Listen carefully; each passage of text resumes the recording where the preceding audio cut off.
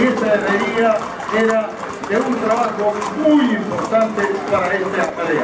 Señores, ahora ATRI, la Asociación Tradicionalista de Rivera, hace exactamente 30 años que acompaña a la Madre Gaucha. Enorme el aplauso para esta representación.